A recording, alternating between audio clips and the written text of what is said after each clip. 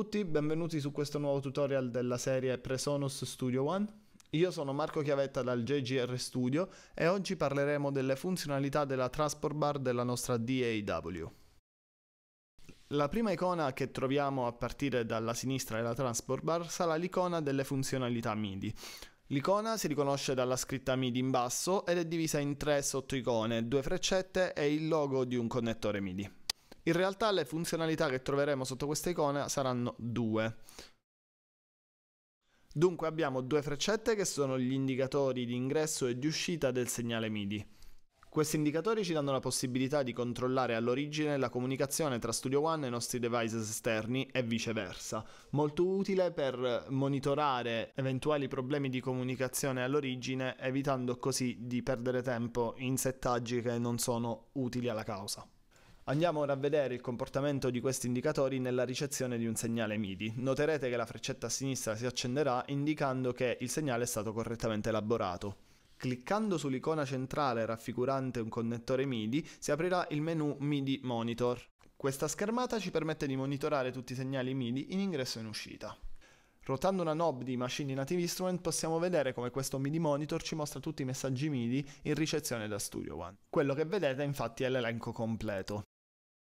In alto abbiamo la possibilità di filtrare i messaggi, spuntando le caselle a fianco alle varie voci abbiamo la possibilità di eliminare una certa tipologia di messaggi percepiti da questo monitoring. Filtrando i messaggi in ingresso, infatti, pur potendo utilizzare i nostri dispositivi MIDI in maniera efficiente come si vede dalla traccia a sinistra, non visualizzeremo messaggi all'interno del MIDI monitor. Continuando a utilizzare i pad come si vede dall'indicatore di ricezione media a sinistra, andiamo a togliere la spunta del filtro ricezione e possiamo vedere i messaggi apparire nuovamente. In basso col pulsante clear potremo pulire il nostro log e col pulsante reconnect potremo ovviare a problemi di connessione con devices MIDI. Andando avanti troviamo il monitor performance. Cliccandoci sopra si aprirà il nostro menu di Monitor Performance dove potremo controllare l'utilizzo della nostra CPU, dei nostri dischi e della nostra cache. Cliccando su Show Devices avremo la possibilità di controllare l'utilizzo delle risorse del nostro computer per ogni singolo device utilizzato, come ad esempio plugin e virtual instruments. Sotto la voce CPU possiamo individuare i plugin che creano problemi di sovruutilizzo della CPU. Abbiamo anche un piccolo monitor di latenza.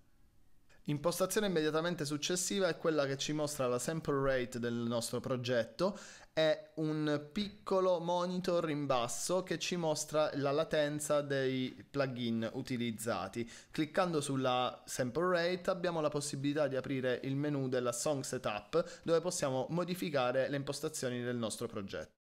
Il monitor successivo ci dà la possibilità di tenere sotto controllo il tempo di archiviazione rimanente collegato alle impostazioni del progetto che abbiamo aperto. Molto utile per chi utilizza dispositivi portatili con poco spazio di archiviazione e ha bisogno di tenere sotto controllo perché è vincolato alle performance del proprio dispositivo. I successivi due monitor ci mostrano la nostra posizione all'interno del workflow facendo riferimento alla barra di riproduzione che vedete a sinistra possono essere impostati indipendentemente l'uno dall'altro per monitorare diverse unità di misura. Possiamo modificare la posizione della time bar direttamente dal monitor che si muoverà ovviamente in relazione all'unità di misura impostata. Le unità di misura impostabili sono battute, secondi, samples e frames. Impostare due valori differenti sui due monitor è molto utile per chi ad esempio scrive musica per cinema e ha bisogno di controllare la posizione temporale nel progetto e la posizione musicale nel progetto. Come già vi ho mostrato, modificando i valori sul monitor andiamo a spostare la posizione della nostra time bar sul workflow e viceversa, modificando la posizione della time bar sul workflow andremo a modificare i valori di riferimento mostrati sui monitor. Abbiamo appena finito la sezione di monitoring e possiamo passare alla sezione di controllo che è presente in tutta la DAW. Andiamo a vedere le funzioni principali. Centrale, evidenziato in blu, abbiamo la funzione di stop. Serve appunto per fermare la nostra time bar e la nostra registrazione e cliccandolo due volte riporta la nostra time bar all'inizio del progetto. Subito dopo abbiamo il play che serve appunto per riprodurre e il record che serve appunto per registrare. Le doppie frecce ci permettono di velocizzare uno spostamento lineare all'interno del workflow. La differenza tra le doppie frecce e le frecce singole è dettata dall'unità di riferimento dello spostamento. Le frecce singole infatti ci permettono di muoverci in maniera lineare tra i vari markers. Studio One è impostato per creare due markers all'inizio di ogni progetto, un marker di start e un marker di end, dando però la possibilità di inserire altri markers all'interno del piano di lavoro. Cliccando su una battuta e premendo Y possiamo inserire un nuovo marker. Da questo marker 6 possiamo muoverci in maniera lineare utilizzando le freccette singole. Tornando infatti indietro con la freccetta di sinistra potremo muoverci al marker 5, 4, 3 e viceversa con la freccetta di destra. Abbiamo anche la possibilità di muoverci tra i markers con diversi shortcut in maniera non lineare utilizzando il comando Shift più il numero del marker relativo sul tabellino numerico, come mostrato dalla tastiera virtuale sullo schermo. Un altro shortcut che sostituisce le freccette singole è il Shift con l'aggiunta dei pulsanti N o B che sostituiscono le due freccette, come potete vedere al monitor. Ultima icona di questa porzione della nostra transport bar è il loop. Il loop è una porzione del vostro arrangiamento che si trova tra due locatori che se attivato viene evidenziata in Studio One dal colore blu nella parte alta dello schermo. L'effetto sarà una riproduzione costante e continua nella porzione di arrangiamento selezionato e influirà anche sulle registrazioni. Ecco la colorazione in alto. Andiamo ora a ridurre la porzione selezionata a una battuta per farvi vedere l'effetto del loop. Noterete che battuta 15 sarà ripetuta innumerevoli volte.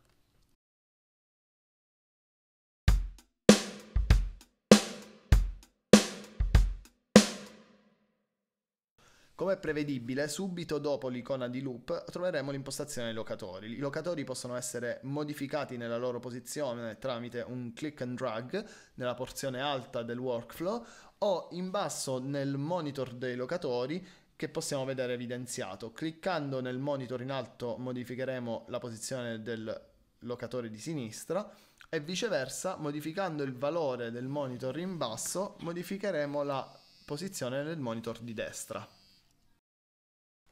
Riportiamo per comodità ora le impostazioni a 15-19.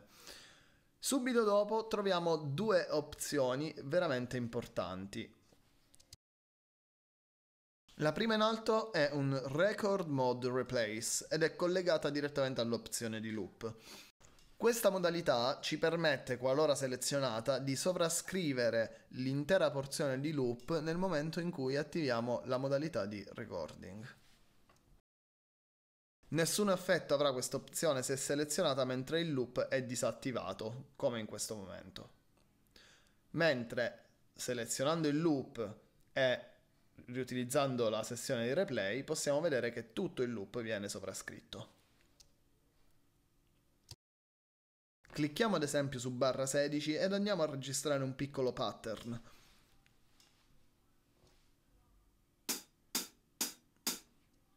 Noteremo che si è formata una nuova porzione MIDI che può essere copiata nelle tracce sottostanti e se cancellata crea un vuoto, chiarendo che c'è stata una sovraiscrizione definitiva di quella porzione. Tramite la chiave inglese possiamo aprire il record panel e da qui selezionare diverse opzioni che vedremo in un secondo tutorial. Icone fondamentali sono quelle del pre-roll e dell'auto punch, due opzioni veramente utili all'interno di Studio One vi aiuteranno molto in fase di registrazione, soprattutto se state registrando del materiale particolarmente complesso. Gli shortcut di selezione di queste due opzioni sono per il pre-roll o per l'autopunch I. Le icone verranno colorate in rosso quando selezionate. Il pre-roll è molto utile se avete la necessità di registrare da una data battuta. Andiamo ad utilizzare la traccia audio per mostrarvi come utilizzare questa opzione.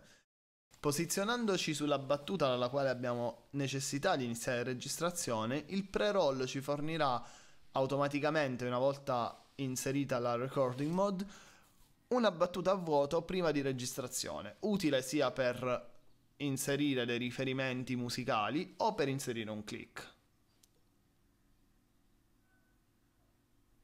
Ecco qui. come potete vedere la registrazione inizia ora. Questa opzione si rivela uno strumento molto utile utilizzata in combinazione con il metronomo e con il pre-count. Vi farò vedere dopo le opzioni del metronomo. Subito dopo abbiamo l'autopunch. L'autopunch è un'opzione estremamente utile che si trova nelle DAW e in Studio One è particolarmente semplice da usare. Grazie all'autopunch noi abbiamo la possibilità di attivare la recording mode impostandola attraverso i locatori. Per cui all'arrivo al locatore sinistro la recording mode sarà attivata automaticamente, mentre all'arrivo al locatore destro sarà disattivata automaticamente. Impostando ad esempio il locatore sinistro sulla battuta 14 e inserendo la recording mode, possiamo vedere che Studio One non registrerà nulla fino all'arrivo alla battuta selezionata dal locatore sinistro. Questa modalità viene molto usata per continuare a registrare le porzioni di brano, per correggere errori e avere la possibilità di entrare in un frammento precedente senza doverlo per forza sovraincidere. Subito dopo troviamo il metronomo. Il metronomo ha tre opzioni, la prima a destra lo accende e lo spegne in fase di riproduzione, mentre quella centrale apre il setup metronomico dove possiamo modificare il volume delle varie opzioni del metronomo, attivare il pre-count o il pre-roll e decidere quante battute di pre-count e pre-roll impostare affinché il metronomo si possa muovere automaticamente una volta inserito il comando di registrazione.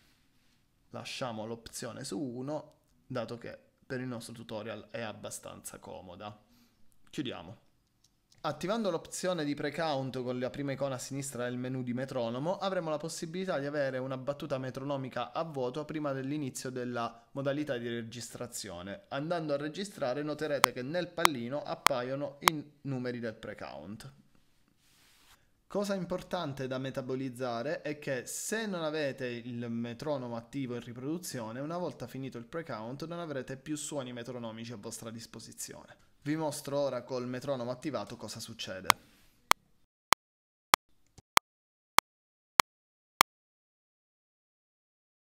Detto questo il resto è abbastanza semplice, abbiamo il tempo musicale, cioè 4 quarti, 6 ottavi, che è impostabile semplicemente cliccando su uno dei valori ed aprendo un menu di selezione dal quale potremo appunto selezionare il valore a noi congeniale e poi un tempo inteso come velocità, quindi BPM, che potrà essere selezionato cliccandoci su e modificando il valore tramite tabellino numerico. Subito dopo troviamo il monitor di master volume che è molto utile per controllare appunto il volume di uscita sul canale master e per segnalarci eventuali picchi e clip. Con quest'ultima opzione abbiamo finito. Se vi piacciono i nostri tutorial vi invitiamo a mettere un like alla nostra pagina e a commentare e condividere i nostri video. Potete inviarci dubbi, commenti e curiosità tramite commento o tramite un messaggio privato direttamente sulla pagina. Grazie mille da Marco Chiavetta e dal JGR Studio. Alla prossima!